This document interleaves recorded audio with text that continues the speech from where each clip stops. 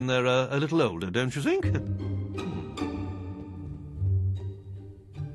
Well... it- Ah, let's turn to the sock method and see how we can uh, make you sexier in ten days. Yay! Now, it looks like this hero still needs a little practice. But perhaps he could demonstrate something simple? Come on.